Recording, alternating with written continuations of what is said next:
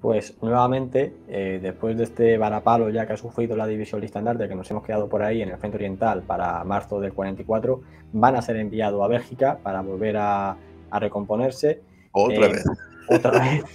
Ya aquí ya una curiosidad que se da es que, claro, debido a la situación, ya los requisitos que piden de entrada, de altura, de demostrar algo genealógico, de condiciones físicas y demás, han bajado porque ya hace falta gente. Pero bueno, nuevamente para... para eh, Incluso se da un fenómeno que, que, antes no lo había padecido esta división tanto como otras.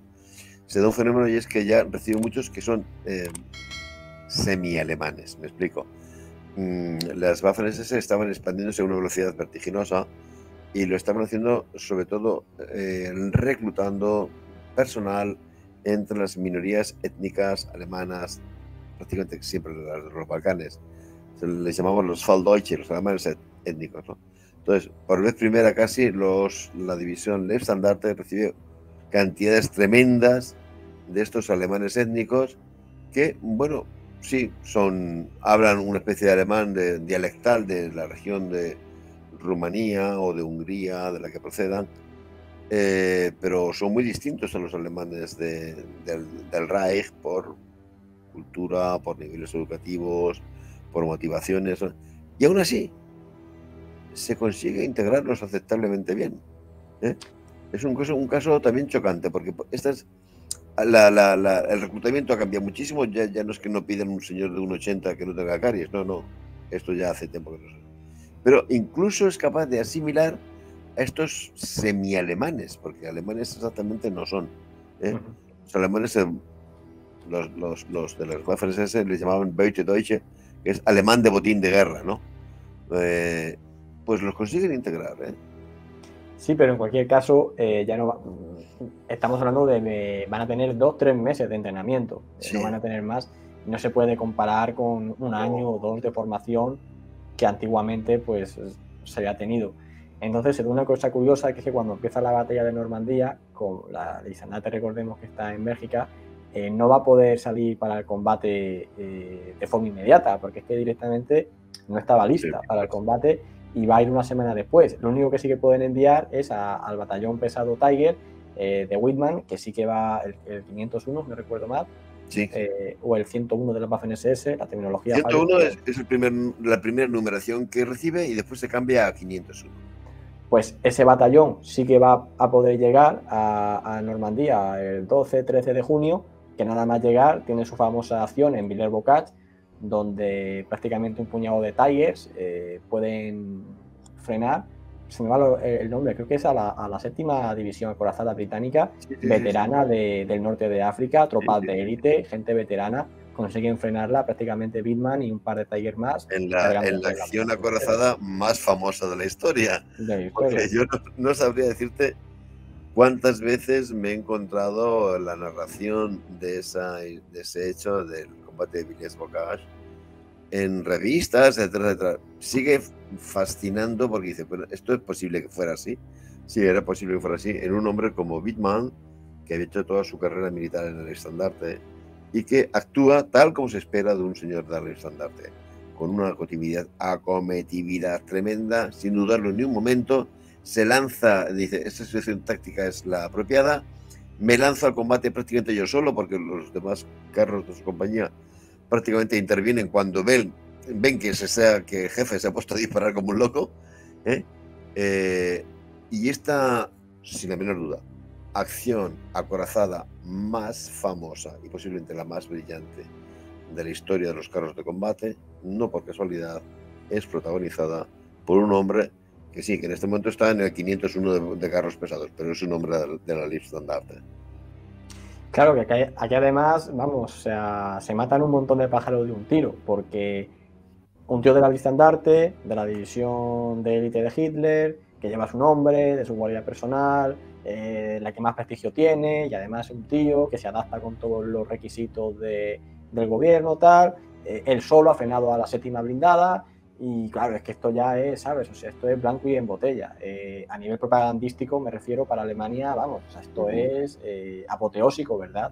Eh, y no, porque esto es una cosa que se dice, no sé si estás de acuerdo o no, por esto te lo digo, que la estandarte se le intenta dar más eh, publicidad que a las demás simplemente por el hecho de ser la lista andarte. Porque, claro, es la cara visible desde siempre, pero no, no, no. Acciones como esta demuestran que de verdad se lo gana. Sí. Bueno, decirte es que ¿Tú conoces alguna otra acción de ese tipo que, salga en las revistas de estabilidad? ¿Conoces alguna similar? Otocarius tiene algo parecido. Pero sí, pero. Vale, pero Otocarius. ¿Pero tú conoces algún hecho similar que pueda o el ejército británico o el ejército ah, o el ejército ruso decir, mira esto que he hecho? ¿Algo similar? No. Eh, vamos, es que dentro de, de 20 años, como las revistas de historia militar, pues hombre, o las revistas de historia general, vuelven cíclicamente sobre el tema, volverán sobre estos combates. Y lo que seguirán hablando es de, eh, de Michael Whitman y el combate de Vilés Bocas. Es que es algo inenarrable. Y repito, no es casualidad que este hombre pertenezca a esta, a esta unidad, ¿eh? porque es lo que refleja las pautas de comportamiento que se están imbuyendo en la estandarte prácticamente desde su creación. Sí, sí, yo bueno, yo pude estar allí por segunda vez este verano, eh, bueno, este verano no, hace un par de semanas.